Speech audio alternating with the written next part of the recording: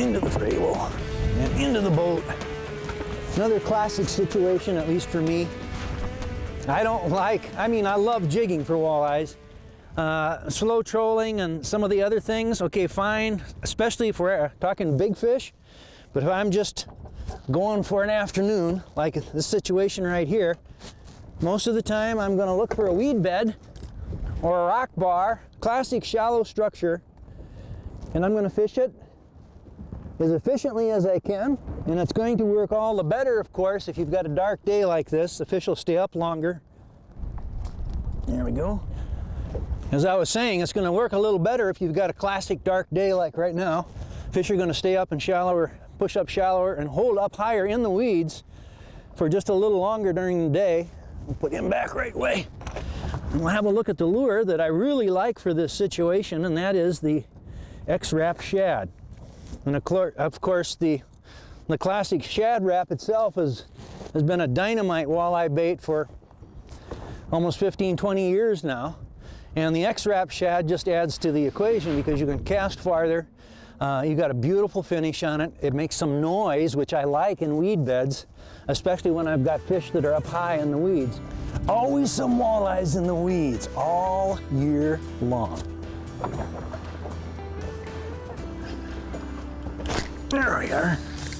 That fish is, is actually quite often the case in weeds.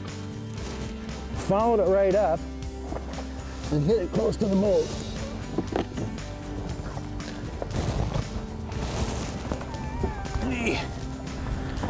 There we are. Pounded it good. Pretty, huh?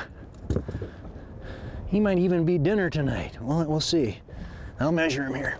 Here we are. No, not even close. 20 inches. All right, lucky guy. Got to be 18 here to be able to keep him. And, you know, people are going to always ask, first question a lot of times is about color.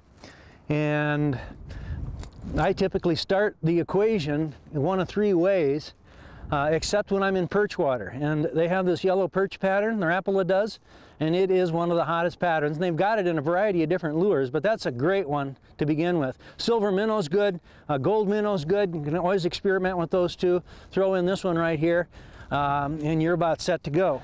Uh, now what you're gonna have on a lot of different days you can keep fishing the crankbait as long as it keeps working, but a lot of times as the day goes on, uh, say you start early in the morning and it gets to be 9, 10 o'clock, the fish are going to drop down farther. I'm going to go to swim baits.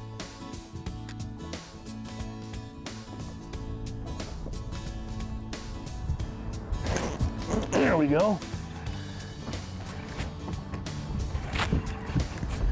Come on, let's see.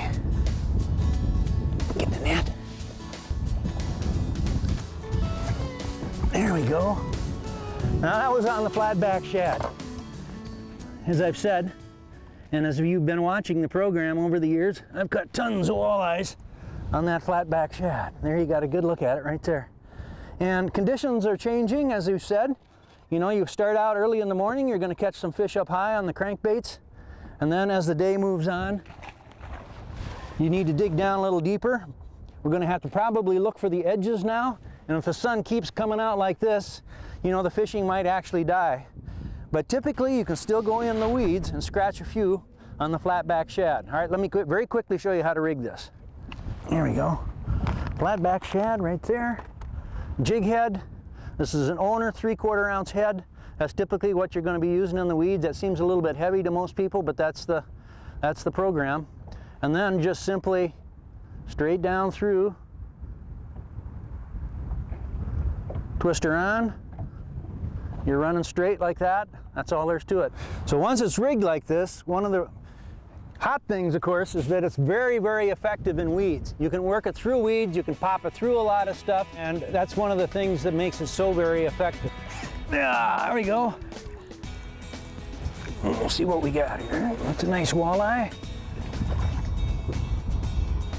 Mm-hmm. There we go. Come here. He was right on the edge of the weed bed. Beautiful fish again. On the flatback shad.